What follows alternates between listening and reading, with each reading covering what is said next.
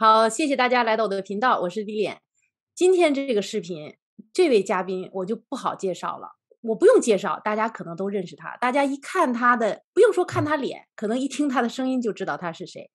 Hello，大家好，我是澳洲亨瑞啊。这个非常感谢丽莲今天邀请我上他的这个节目，跟大家一起探讨一下这个呃业务也好，探讨一下互联网也好。我今天会这个尽可能的跟大家把我知道的东西分享出来。Henry，其实我认识你啊，也是大概十二月份，我才真正的呃多多了解你。正好是那一段我自己腰病呃复发，然后呢我是卧床，没办法，我说那怎么办呢？我就干脆多听听视频，多学习学习。那个时候看到了你其中一个视频，讲到了个人品牌这这个课程，正好要在一月份要开，所以我当时听了之后，我连续基本上每一天都听你的视频，最后报你的课程。后来呢，上完课程之后，我说：“哎呀，Henry，我一定要在我的频道里访谈你一下。”哦，谢谢谢谢，这是我的荣幸。我知道很多的，我其实很多的群友也是认识你的。那我也是想今天借着这个机会，我我问你一些问题，然后希望呢，对我的这个平台的受众啊，大家会有一些帮助，也更多的了解你吧。我想。好的，没问题。那好的，Henry，对于还不了解你的这些朋友们，你先自己介绍一下自己。啊，大家好，我是澳洲亨瑞啊，我跟 Lilian 一样是 YouTuber，同时呢，这个我跟他也是同样的一个行业出身吧，虽然这个不太一样啊，他是这个教大家怎么样管理好自己的房子，我是做房地产出身的，我大学毕业在澳洲毕业之后呢，大概二零一一年我就开始从事像房地产销售啊，房地产开发呀。房地产管理啊等等这个业务做了有十年了，所以说起来跟这个丽莲是同行吧。后来因为这个疫情的原因，也是因为疫情啊，这个我跟丽莲应该路径基本上是一致的，然后开始加入到这个啊这个网络的平台上面，开始做一些 YouTube 这些东西啊，这就是我的一个职业生涯吧。好，看到这里的朋友们，如果你愿意支持我和 Henry，也请你帮我们点个赞吧。那我就想问一下你，你怎么就想到从房地产到了这个自媒体呢？这个问题很好，这个问题我就回答一下。我可能在我自己的频道上面我都不敢说，因为说了的话会容易得罪很多人。那我在这边我就说一下吧。其实我很欣赏 Lilian 在做的事情啊，就是他在做一个正确的事情，就是呃很多房地产这个行业，你看海外无论在哪个地方，在东京也好，在温哥华也好，在墨尔本、悉尼也好，很多的华人都在从事。为什么房地产？因为高利润，很容易赚钱。你去卖房子也好，你去做租赁也好，这个里面利润真的很高。我曾经说过，就是有。一次在唐人街吃饭，前后左右坐的都是做房地产的，这个很正常的，对吧？但是房地产这里面呢，又有一个问题，就是房地产呢，它赚钱，很多多人是靠信息不对称去赚钱的，就是比如说卖房子的人，对吧？就很容易出现，比如说卖房子给那种新来的华人，然后去坑他们一笔，赚一笔钱，这种情况在房地产其实是屡见不鲜的，也不是什么秘密，对吗？我做这个地产行业其实做了有十年，呃，我看到这个行业里面的好好坏坏的一些现象。啊，我不能说我自己就是出淤泥而不染或者怎么样，但是呢，啊，我觉得伊莲做的这个事情是对的，为什么呢？因为他是站在用户的角度去考虑，是我教你怎么做，然后呢，那个我把我之前知道的经验告诉你，就是这样避免了很多人去走入到一个就是错误的地方。房地产第一个房子投错，其实对他后面很多很多东西都会有影响。那我呢是，其实呢刚好疫情来的时候，是我做这个行业做了有十年的一个时间。我觉得也是人生到了一个关卡了，所以呢，我就想认真的思考一下，就接接接下来我要做什么。首先呢，这个我当时就在犹豫房地产这个行业要不要继续去深耕，要不要继续去做。然后呢，我就去看了这个行业，我觉得做的最好的几家公司，他的负责人、他的老板有几个我都是认识的啊，有一些是行业大佬啊，但我我说实话，我看了他们生活的状态。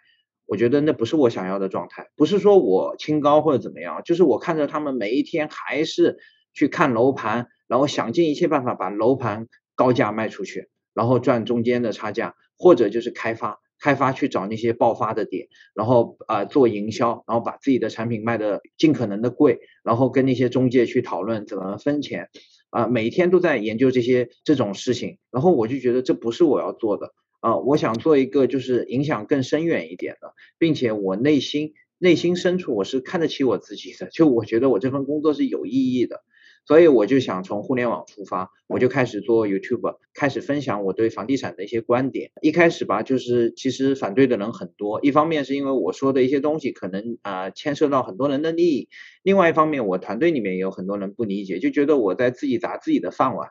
啊，但是呢，就是这个疫情嘛，啊，对很多人来讲是一个不好的事情，但对于我来讲，反而从某些方面帮助了我。虽然业务一开始经历了一个很大的波折，但是呢，他却给了我一个机会，就坚定的要走下去。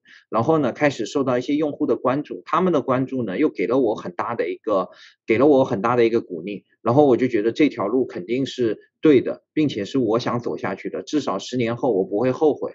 所以呢，我就开始坚定的开始转型，在这条路上走下去了。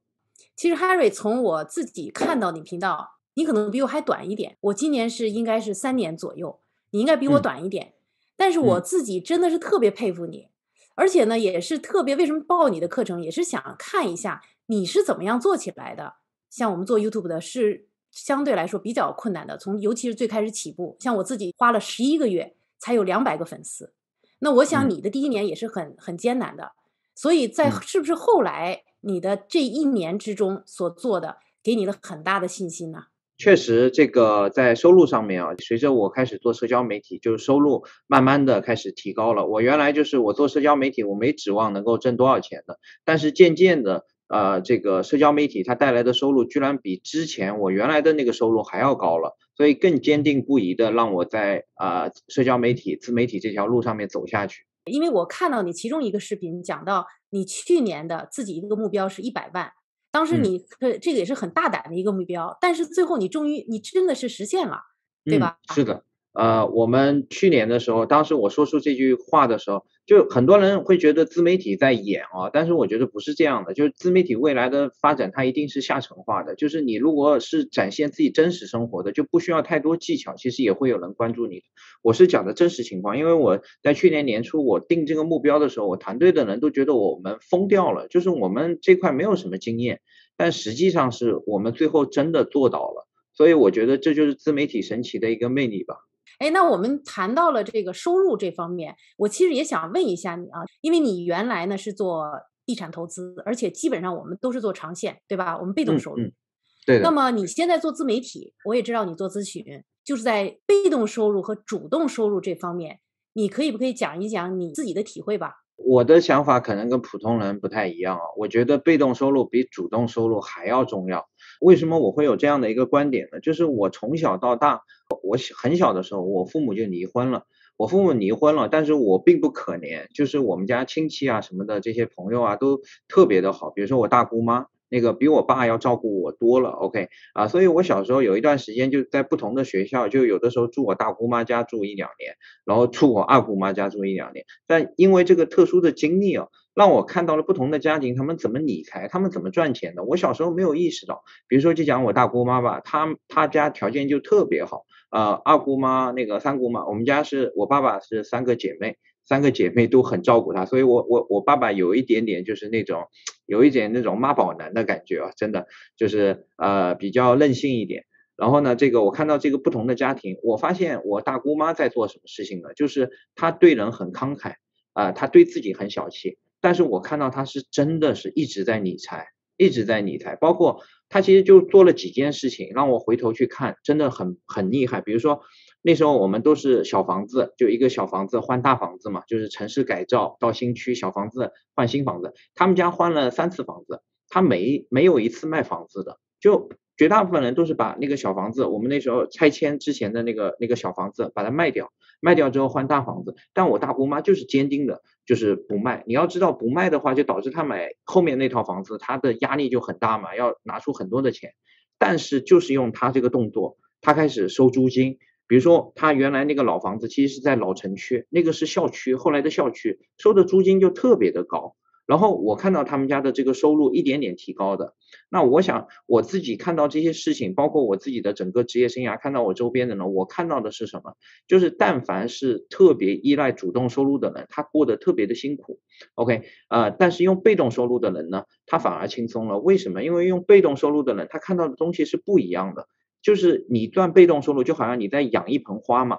但是做主动收入的一个人，就好像你不断的在找这个新鲜的世界，外面的世界是怎么样的，很多时候这个人他自己也会迷失掉。所以我觉得被动收入反而比主动收入更重要。嗯，那你现在可以给我们讲一下你主要的主动收入和被动收入的来源呢？是哪些？OK，呃，我主动收入、被动收入，其实我的收入比较复杂。首先，第一个，我过去做房地产，然后我们到现在团队还在做，比如说我们现在这个公司就是一个房地产团队。OK，这边有一个我这个同事刚来了，他是呃这个刚做下来啊，他是我们负责租赁部门的啊，我们现在也管理着啊几百套房产。从我们过去这个呃做房地产的公司，我们延伸下来的被动收入是哪一些呢？就是我们在管理呃大概两百多套物业，然后同时呢，我们还有自己的一个宾馆。就是我在大概呃四年前的时候，我当时特别看好深度旅游这一块，然后我们当时买了一个宾馆，然后这个宾馆呢也是请一个专业的团队在打理的，然后这一块呢就是我们最主要的一个被动收入了。OK，因为房地产积极的这块收入是靠销售啊，是靠多开发这一块呢，因为我个人经历的转移已经比较啊比较少一点了，那来到这个我新的业务这一块。我现在的被动收入呢，比如说 YouTube 上面的广告费啊，YouTube 呢，我现在一个月的广告费大概有一万澳币左右吧，换算成美金大概在八千美金左右啊。但这个费用呢，并不是我们非常依赖的一个费用。OK，除了这一块呢，我还有就是在网上卖一些我们的线上课程。OK，这个东西呢，它会源源不断的给我带来一些收入，这就是我的被动收入。那我的主动收入是什么呢？我现在最主主动的收入就是给别人提供咨询。去帮助别人，就别人有一些问题，他申请了跟我咨询，然后呢，我跟他聊一个小时。企业呢，我可能是提供一个一个月的一个计划，一个月里面跟他们通过七八个会议做一些 research，帮他们解决一些问题。这就是我现在的一个主动收入，就是从地产到自媒体它发生的一个变化。但其实还是有被动收入跟主动收入的。我今天你说到那个咨询服务啊，和你这些主动收入，呃，我呢就就在想跟这个听众讲。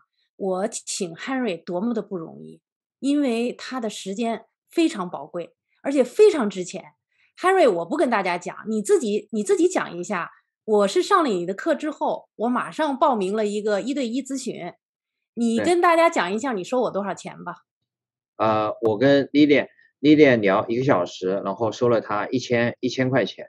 呃，一千块钱其实。很正常的，是我一个比较真的比较便宜的一个价格，就是我正常我在。就是澳洲对这些咨呃这些企业家我收的咨询费呢，大概在两千到五千一个小时，根据他们的问题不同。OK，很多人会听到这个会觉得非常的疯狂啊，为什么会有人愿意付这个钱来给你呢？但实际上咨询它是一个啊慢慢慢慢在发展的一个行业，就好像 Lilian 他做的这个事情其实也是一种咨询，他只不过是通过互联网的形式，通过上课的形式在帮助很多人。我说了，就是人们比如说去买房，他买房的最终目的其实是为了理财，是为了投资。我们不一定一定要卖房子给他，像 Lilian 这样，他教别人怎么样去做，对吧？我觉得这个也是很好的一种方式，所以这就是一个咨询的一个行业。对，为什么跟 Harry 说起来这个事情啊？因为我的有一些群友，因为我也做咨询，比如说房地产，他没有方向的，那看了我视频，他觉得哎，Lilian，我想从你那儿得到一些启发，你给我看看我这个房地产呃怎么样开始来做，然后有一些做一些调整，我是有做咨询的。然后呢，最近呢，因为我今年的咨询费增加了啊，比去年增加了一倍，但是跟你那个才百分之二十，你的那个费用。然后我就记得呢，我当时有一位群友就是说啊，我的朋友去年跟我说，你你的收费是多少多少钱？他说今年你你那个涨价了啊，涨这么多。我说你知道吗？其实呢，咨询费其实不是你觉得价格贵和不贵的问题，而是说你是不是觉得它有价值。如果你觉得它有价值，你就不会嫌贵了。我说，你知道最近我花了多少钱咨询吗？我花了一千块钱一个小时咨询，所以刚才就为什么问题在你这个问题？对的，只要他有觉得有价值，因为我觉得我跟你咨询完，你给我了很多思路。当然了，现在有一些落实，有一些还没有落实，但最起码我知道了，我知道一个方向了。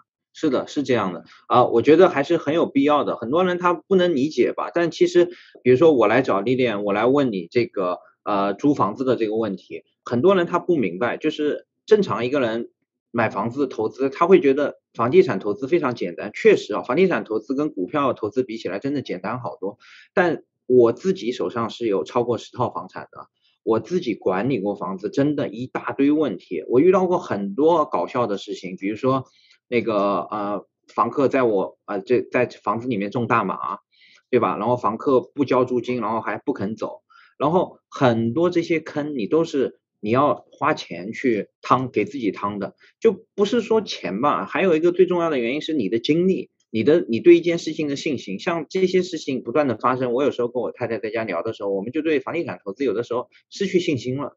所以我作为一个房地产业内人士，我的解决方案是什么？我给到一个我们公司的同事去管，OK，我也一样给他服务费这个费用，我们依依然是给到专业人士去管。就是我一开始觉得我自己可以管的，后来我完全放弃了，就是我发现我没有这个时间。所以如果有一个像丽链这样做房地产租赁做了这么多年。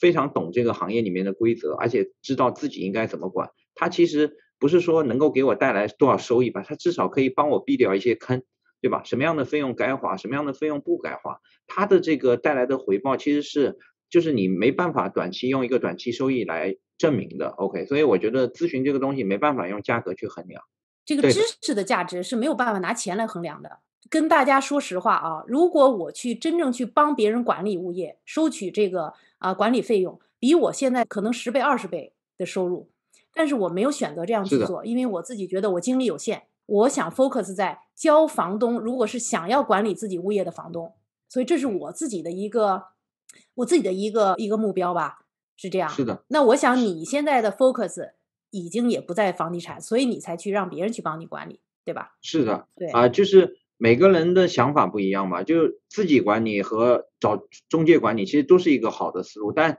大家千万不要以为就是你找中介管理就没事了，不是的，有的时候麻烦也会更多的，这其实都是有门道的，比如说怎么去选中介，OK，自己管理怎么管，其实这是一本账，就是你自己去啊算，但是千万不要本末倒置吧，就是。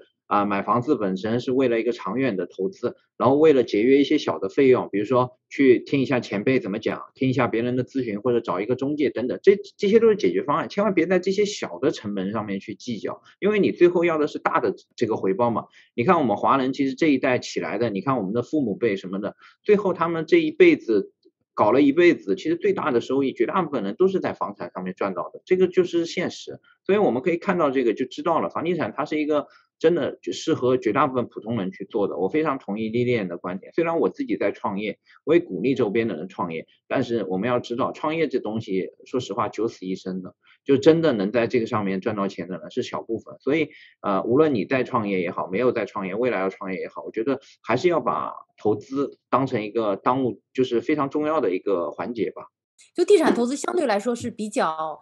啊，起点比较低的，所以才有人愿意去去介入，对吧？是的。呃，那说到这儿呢，我也想跟今天的听众讲一下啊，这是第一次我跟公开跟大家讲啊，我们现在呢，我们乐房俱乐部正在筹划一个地产投资课程。那这个课程呢，我们有六位讲师，都是行业界的专家，我们花两个整天的时间有这样的一个课程啊，另外还有五个特别的这个 bonus。特别超值，希望大家如果真是感兴趣，想要说学习怎么样能够购买到满意的投资物业的，大家可以呃跟我联系。大家也知道联系方式，我也会放在这个视频的下面啊。是四月二号和三号这两天，我们全天的这个地产课程。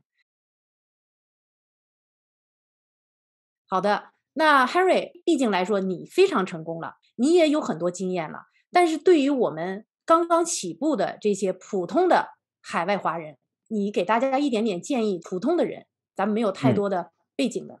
OK，呃，首先第一个，我不觉得我自己非常成功，因为成功它是相对的。我说真的，我不是说客气话，因为我是一个野心比较大的人，就是我对我自己的状态一直都是不满意的，所以他就会推着我往前走。就是我现在做到的东西，跟我想要的其实还是有一定的差距的，甚至有的时候我会瞧不起我自己做的一些事情。说到给建议，我觉得我也。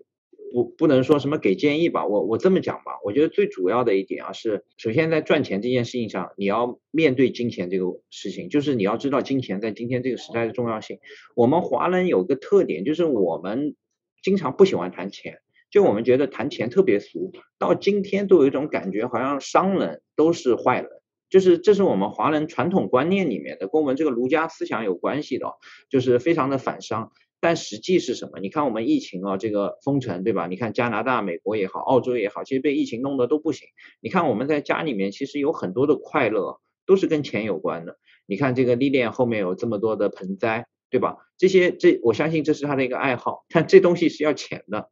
然后我在家里面跟我家呃跟我小孩玩的时候，有的时候疫情的时候在亚马逊上买个玩玩具，对吧？这些东西不贵，但是其实都是钱呀，对吧？你疫情在家有个院子，可以在院子里面跟小朋友玩一玩，可以住一个稍微大一点的、舒适一点的房子，这些东西都是钱。就是我们要正面钱，我们要知道我们对钱的欲望是正常范围之内的。我们想要赚钱，这颗心是正常的，是合法的。这个我觉得是很多华人就是可以去想的。然后第二点，我觉得就是要保持一定的就是野心，保持一定的野心，因为就是赚钱这件事情上，我们不要低估自己的能力。就比如说我做 YouTube Lilian 做 YouTube，我们一开始的时候都没想过我们可以赚钱，就是我们没想过就是我们可以把这个东西当成一个营生的一个东西。但是你会做着做着，你会发现，哎，你做起来了。那为什么很多人，比如说做 YouTube，像 Lilian，他还做这个房产俱乐部这些东西，为什么他可以坚持下来？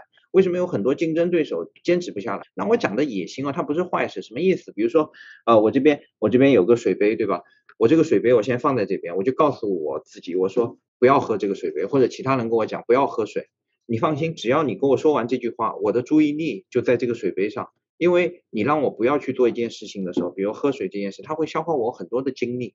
但是呢，我现在知道我在跟 LILY 开会，就是我现在更重要的事情是 LILY 开会这件事，所以水杯这个问题它会很快被我忽略掉。我想讲的是什么？就是在我们呃工作也好，创业也好，投资也好，你会遇到很多的困难，你会遇到很多糟心的事情。你一定要有野心。很多人为什么坚持不下去？很多人为什么投资房产第一个房子遇到了很多问题，然后就放弃了？为什么？因为他他的目标就是有个一两套房，他就觉得很安逸了，然后他就觉得很开心了。所以在第一套房子遇到问题的时候，他就放弃了。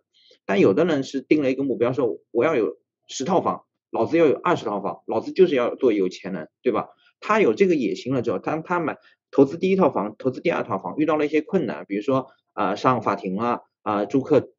捣乱，他就会觉得这是我必须要经历的一些事情，就这是我要交的学费，我我我连这一套房子都搞不定，我怎么搞得定三十套房、四十套房？所以他就会觉得是正常的。所以我觉得，就一方面是对钱有一个正常的欲望，另外一方面我觉得是提高自己的野心。OK，就是让自己有更大的一个啊目标。我相信只要这两点有了的话，后面遇到的事情都不是事。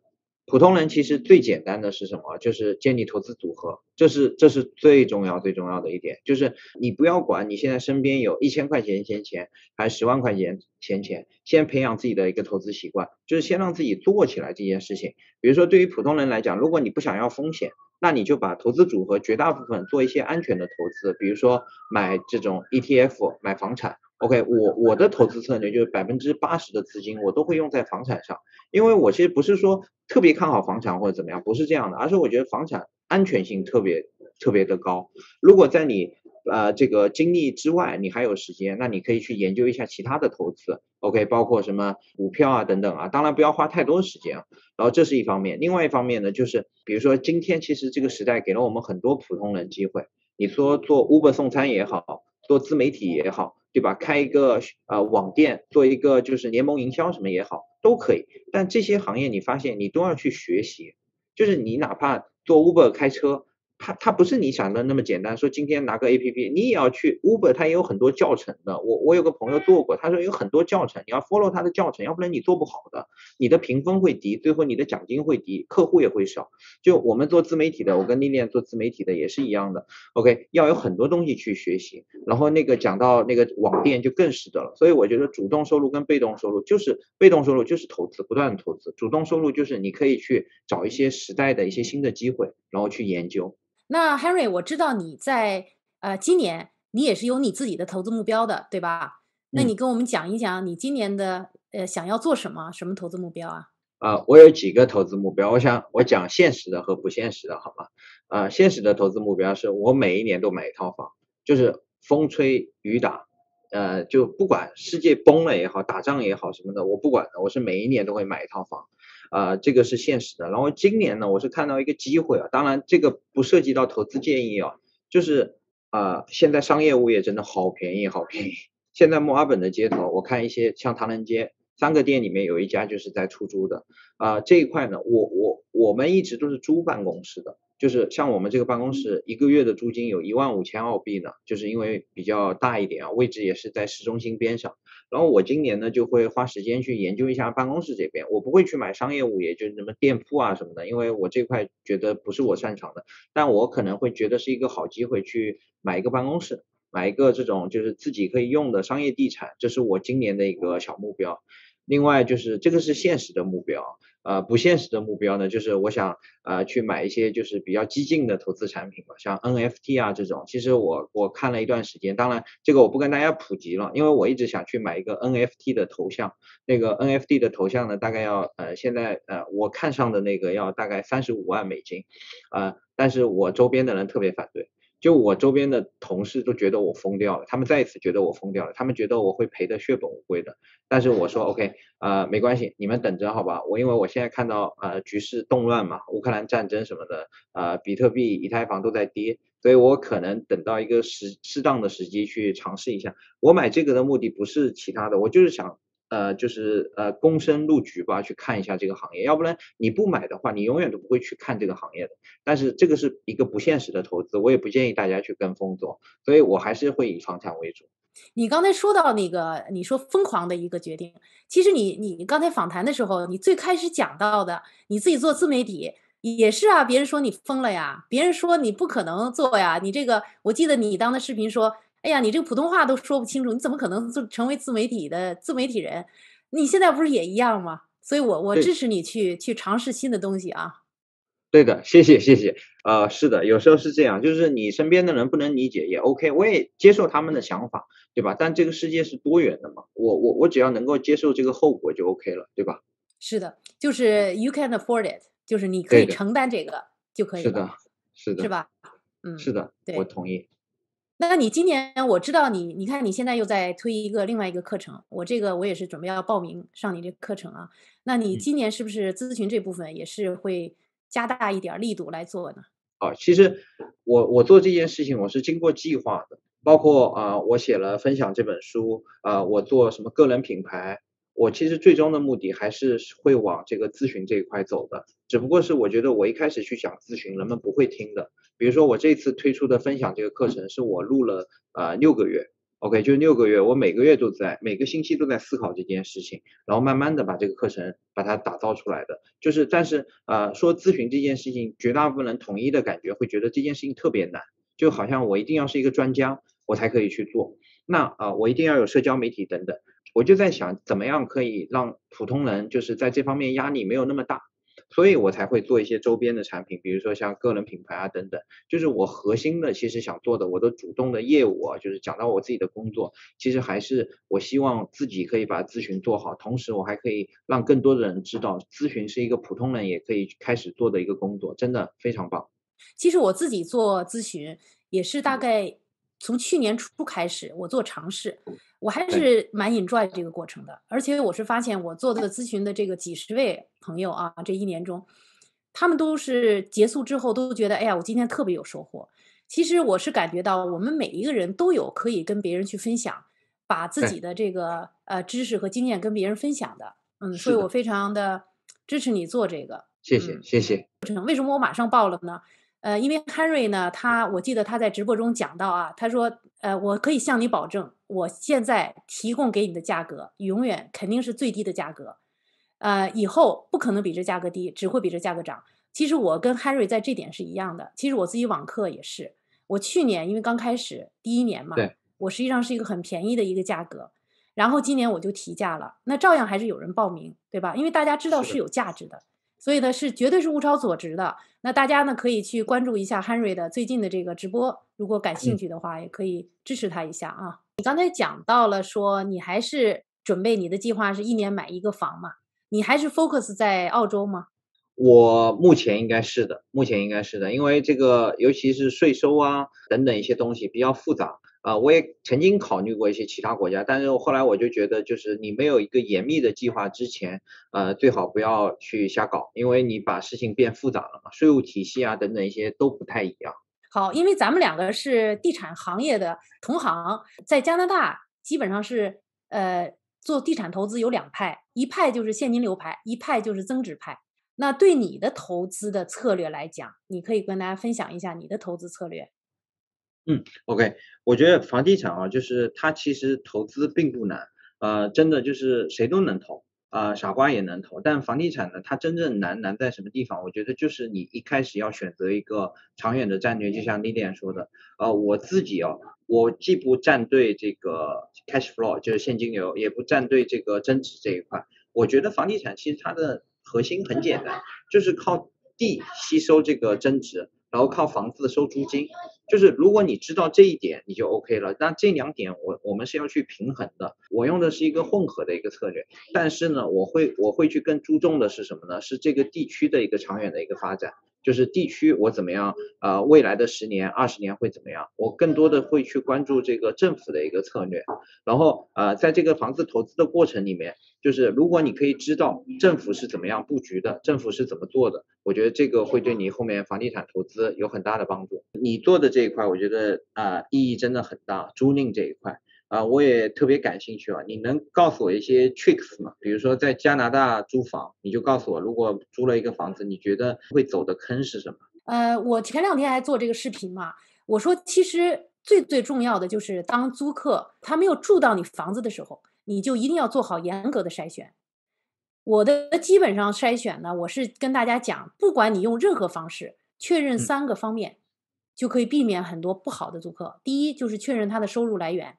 确认他是不是能够交租，这第一，包括交租历史，对吧？一个是收入来源、交租历史，另外一个就是是不是尊重人的人，就是你这个人品是非常非常重要的。就是有的时候这个租客他他准时交租啊，但是他人品不好，给你造成很多麻烦纠纷。这个怎么发现？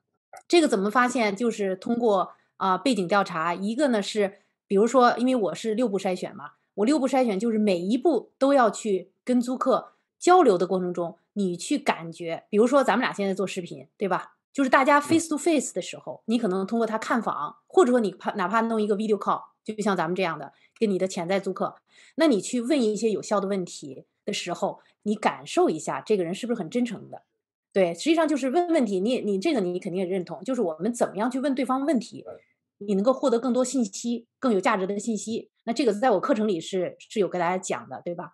那还有就是做那个 landlord 这个 background check，怎么样去问 landlord 有效的问题，去得到这个租客他在那边租住的情况。这个这个确实要做，这个确实要做。我以前租房子吃亏就是没做好这个调查，我非常赞同。然后就是呃干净整洁，他是不是能够爱护你房子的人？对，如果你只能问。啊，这个就是他的过去的这个 landlord 一个问题，你会问什么问题？我很好奇，就怎么样通过一个问题高效的知道这个租客好不好？因为有一些房东他会掩饰，你知道吧？因为跟跟我没关系，他又会说一些好话，不得罪人。你有什么问题可以高效的问到这个房东是不是真的喜欢他，或者这个租客怎么样？呃，我自己当然了，你说要只是问一个问题，这个比较难回答。但是我通常呢，我的策略就是我会。问 open-ended question，比如说我第一个问题，你可以不可以跟我讲一下你这个租客？就是我想让他讲一下他租客。如果他当时跟我就是简单的这种客套话讲的，那么我就要再深层再去问其他的问题。啊，我还有个问题比较好奇啊，因为啊，这个我没深入的去研究过，就华人租客会不会比西人稍微好一点？总体质量？呃，你这个问题实际上特别普遍，大家的问题，包括我群里面好多人就说：“哎呀，这个族裔的新移民过来的，我该不该租他？”呃，我给大家的统一答复是什么？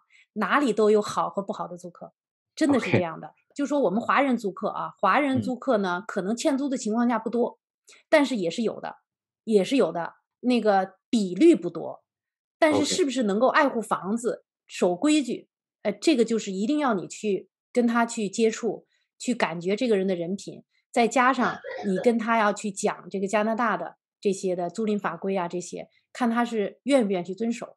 对我觉得这个呃，不能说哪个族裔就是有好和不好的，都会有都会有好和不好的。嗯，是的，是的，确实是这样，确实是这样。你们一般就是遇到比较极端的、最坏、最糟糕的情况是什么？我想知道最糟心的事情，租房子。最糟心的事情，我觉得。呃，比较让房东头疼的，最最主要的就是租客欠租。嗯，租客欠租就是不交租金，然后也不走，这个是最大的问题。加拿大也是不能直接踢走，是吧？就有个很复杂的申请。可以直接踢走，但是现在基本上至少你要上诉的话啊，走法律程序，三到四个月的等待期，在这个等待期，你的租客在里头怎么搞，交不交租金，这个就保证不了了。哦，加拿大跟澳洲一样，特别保护租客。OK，所以对，我觉得这个就学会租赁，这个也真的非常重要了。就是你在这种法律环境下，最后找到一个。坏的租客，然后你还跟他很强势，对吧？最后你就惨了。租赁房产中间有很多问题值得去学习，未来我要多关注一下。我知道有一些澳洲的也是看我们这个视频，他们说可以做可以借鉴，虽然是两个国家，因为我网网课也是有美国的学员，也有也有不少美国的学员，可以的，所以都是可以借鉴。下一次我看什么时间跟你约个时间嘛，我们先在社群里面小分享一下。